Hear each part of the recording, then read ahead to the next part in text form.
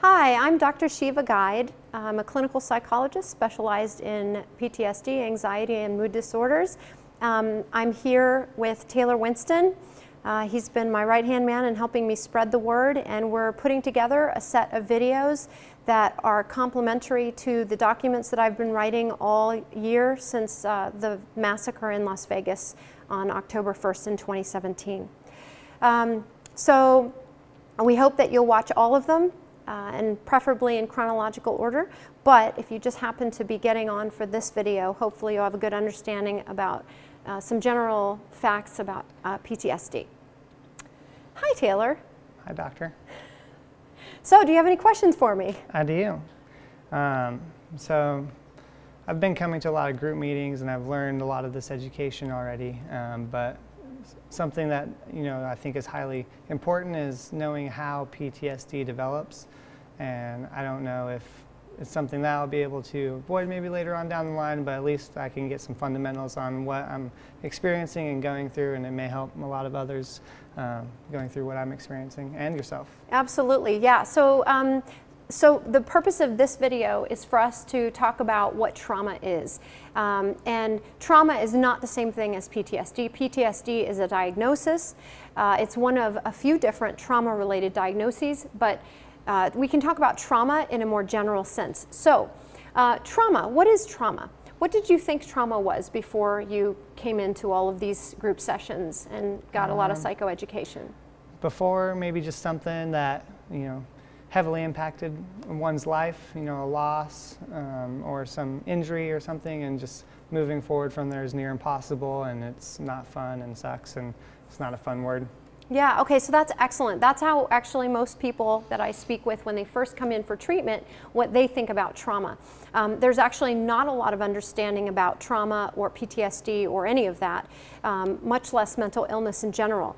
So um, we're going to destigmatize all of this, uh, but let's start with a definition of trauma. What is trauma?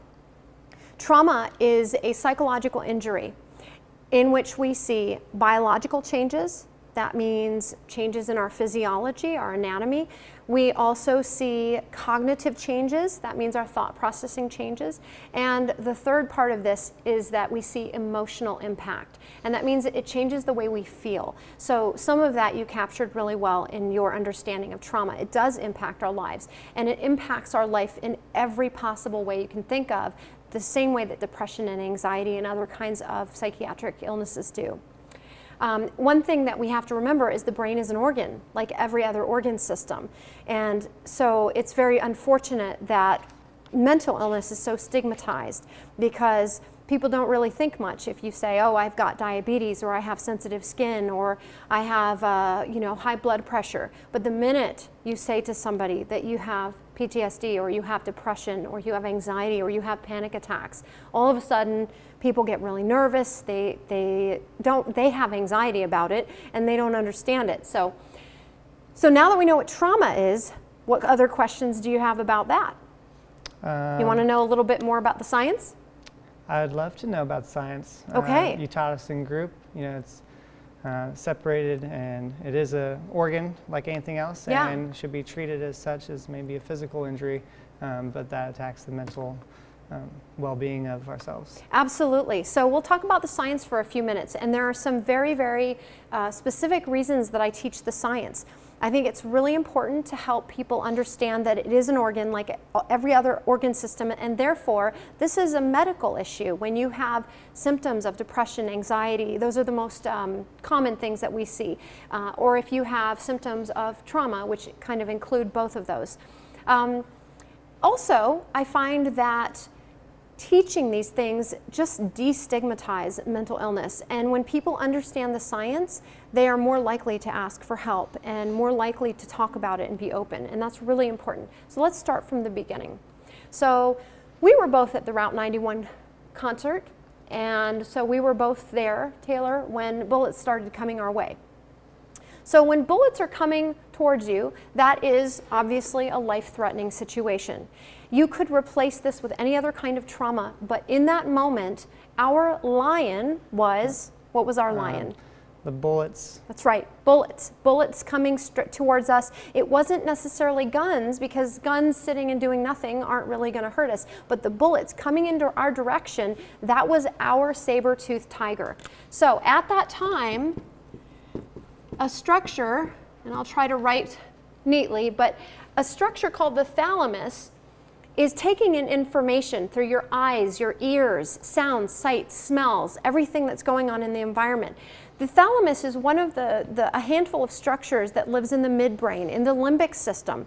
If you've seen that wonderful Pixar film Inside Out, which is a really brilliant movie about how important yes, how important all of our emotions are, um, and they have described the five primary emotions then you know that they live in this headquarters. Well, the, the, emotions in that headquarters is what we call the amygdala.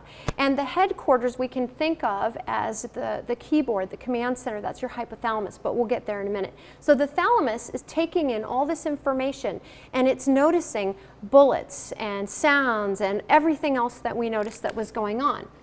And then and so you're, you were in the military, right? You're a former Marine. So let's use some sort of fun analogies for this. The thalamus is recon, right? So that's your recon. It's pulling in all the information. And then it's sounding the red alarm. It's sounding the red light. This is fear, fear, fear, danger, danger, danger. The amygdala, that is your fear or your emotion center. Okay? Sorry, that's really messy. But that's your fear center. The amygdala then immediately alerts your hypothalamus. All right? This is what we call your command center, right? That's the headquarters at Inside Out. So the hypothalamus now has to make a decision. Okay? Meanwhile, the amygdala is hanging out with another structure that's really important as it turns out in terms of, of some of the things that, that lead up to the development of PTSD and other trauma symptoms. So the hype that this, this is the hippocampus. My patients have called it the hippopotamus, but it's the hippocampus, and that's kind of like your courtroom scribe, taking notes, right? That's your note taker. And this is a really important thing as it turns out, Taylor, when we start learning about why people, some people will develop PTSD and why others don't, yeah. um, along with some other factors, and we'll talk about that in a minute. But your hippocampus is taking notes on everything that's happening that night. So what were some things that we were noticing that night? Um, the sounds of maybe fireworks, yep. because we thought, you know, the bullets coming at us and the sounds from that was fireworks. Um, the turf, screams, sirens, floodlights, country music, boots, hats. Absolutely. Beautiful. And anything and everything all around us is now associated with that traumatic That's event. right. And so the hippocampus is taking all these notes that are later, with the help of the hypothalamus, right, going to go up to the corporate office, right? Remember what the corporate office was? That's the prefrontal cortex, right? That's our frontal lobe. That's where all the logical reasoning and judgment, judgment and um, sort of the logical thought processing happens. So the, the hypothalamus is your command center. And what happens is the hypothalamus has a decision to make. And it, it will actually, just to be safe, take two roads, the high road and the low road. The high road is this slow road to corporate office, think government paperwork, right? Goes sits there for yeah. a long time, right? And, and it's, you know, the, the, idea is that information is put in a folder, it's sent up to the prefrontal cortex where people are gonna, that part of the brain is gonna pull out all the information and say, is this really a life-threatening situation? Do we need to run? Now, do you think that would be a good idea if that were the only way that this went? Um, no, because you would be stuck with just standing there trying to figure out what to do the whole time. Yeah, that would probably not save our life. So fortunately, the hypothalamus also sends the message to the rest of the body with the low road. And low road is the shoot first, ask questions later road. And the way that it's going to get your whole body involved is through the nerves and through the bloodstream. Okay? And I won't go into too much detail just to save us some time, but if you want to learn more about the details, please look up our articles or read the book that's coming out um, shortly in a week, and you will have a much more in-depth description. The kind of the long, uh, the long and short of it is, is that through the nerves we have the sympathetic nervous system, right? And it's easy to remember sympathetic as in it has sympathy for us because we're about to get eaten by the saber-toothed tiger. So the sympathetic nervous system will get the, the adrenal medullas that are two small structures that live on top of the kidneys involved and that will release a set of catecholamines, that's a fancy word. And really what that is, have you heard of epinephrine, norepinephrine? Yeah. And the other word for that is adrenaline or noradrenaline. And then on the other side, we have through the bloodstream some adrenocorticosteroid uh, and hormones that are going to trigger the pituitary, right, which is your main endocrine gland that lives in your brain, and it's going to release ultimately because of a succession of hormone release that hormones that are released it will release uh, 30 or more stress hormones right? And you've all heard of cortisol. We're getting really messy down here taylor. So what I want you to understand from this not necess- is not necessarily all the detailed science. Well, it could be literal. It gets messy when we get over here. It does. It gets messy. Your whole body gets involved. I mean, what do you think about that? Uh, I think once you hit that point, you don't have a whole lot in control. Um, That's going correct. Back to rule three. That's correct. I mean, this is your fight. nice job with the bucket rules. This is your fight, flight, freeze response, and we don't have a choice. As animals, we will always respond to danger with a fight, flight, or freeze response. Now, we may not like the response that we had, but we will always respond to danger. So there is no fear in thinking that you're not going to have a response that is really aimed at saving our lives. Um, this is what we call the human fear response or just the animal fear response. It's very similar in other animal groups as well. The thing that I want you to take from this is your, your entire body has gone into the mode of saving your life.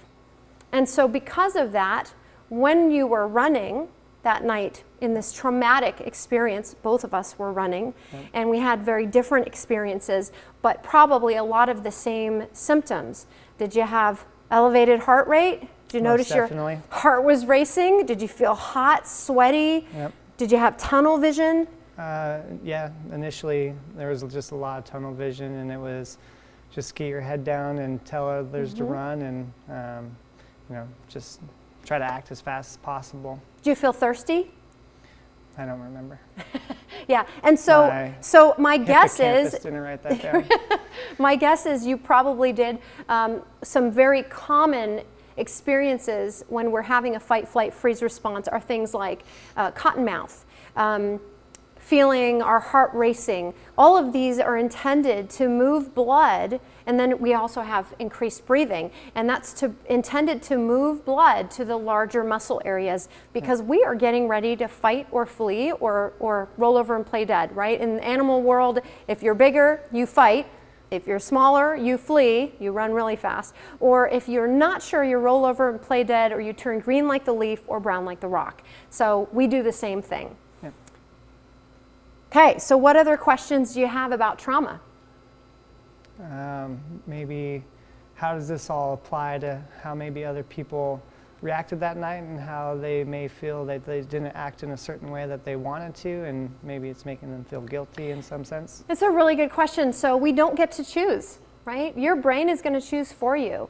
And it's probably the reason that We've all heard stories about just how many first responders were there at the concert having fun, not on duty, and some of them may not have responded the way that they've been trained to respond. And the unfortunate outcome is that they may have suffered a great deal from feeling guilty or feeling ashamed and shooting on themselves, right? Feeling like they should have done more. But the reality is we don't get to choose. Trauma will just happen, we will respond, we don't have moments to think about it because our prefrontal cortex is not making those decisions in that moment. Our limbic system is moving into action.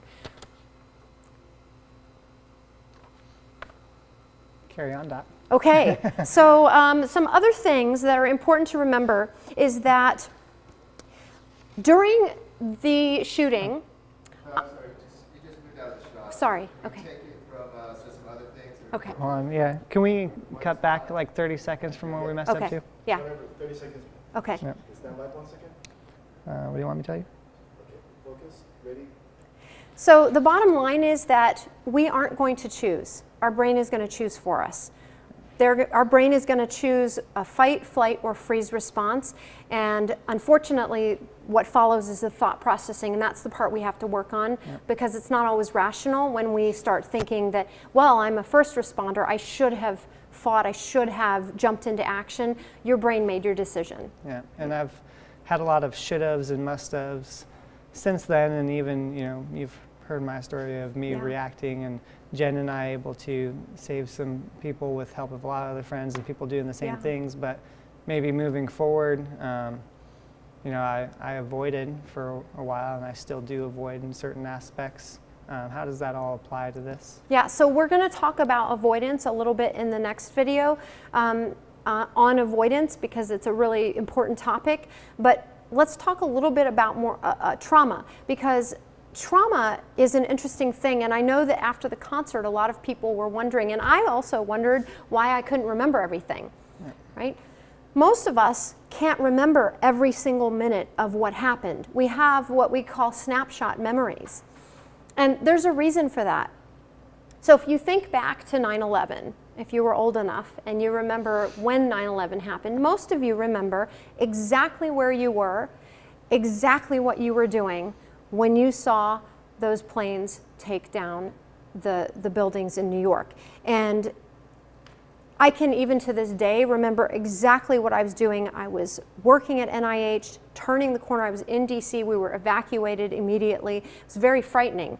Um, the reason for that, and the reason for these snapshot memories that most of us have from this experience of the Las Vegas massacre, and they're not always in order either. Usually they're not chronologically ordered and they seem very chaotic. Yeah, Um, is that, do you remember the hippocampus up here that's taking notes? yeah, describe. So, not to uh, nerd out too much, but there's a really interesting thing that has been researched for um, probably the past decade or so, a couple of decades. And now we believe there is a protein that is released that helps drive those hot spots, those snapshot memories that are probably the, the scariest moments of the night, into long term memory storage. Why does that seem like it would be a good idea? Uh, in case you come across some similar situation in the future, you can then uh, just be pre-programmed to respond maybe in a better decision-making fashion to that instance. Absolutely. That's exactly the point. Is if we come across that saber-toothed tiger again, we better have really good notes about everything we noticed in that in that. And as it turns out, that also can create some difficulties and actually turns out to be part of the problem when we develop PTSD down the line um, for those folks that do. So these snapshot memories often do represent the scariest moments. I know that in my own case they do. Um, do you have moment to moment memories, Taylor, or do you also have snapshot memories from that night? I would say a lot of my memory um, was really blurred at the very beginning, and with significant snapshots. You know, someone getting shot near me, or just screaming, and all those little things are snapshotted in. But then once I kind of got past that and started to move into action to try to find a vehicle to start helping people, uh, I remember a lot more from then onward. Yeah, so those moments that you were hyper focused, you remember very well, probably because that protein was driving those memories into long term storage. We don't store emotionally neutral memories, but we know that we store really highly arousal, you know, just fear type of aroused uh, memories. So a lot of people have asked me, since this started. I, I can't remember. Is that a problem, Dr. G? Is that, you know, there, I just can't remember what happened. And my answer to you is this don't worry about it.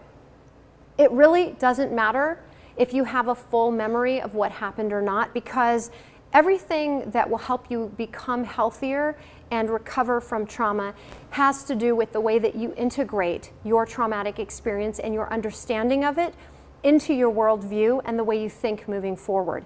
So, actually, it's not about the activating event. The activating event, this sort of big event that happened to us, as it turns out, as we move further and further away from this traumatic event, how we feel really has nothing to do with whether we went through this or not. It has to do with the way that we've learned to interpret the world and other people and ourselves and think about all of those things in context moving forward, right?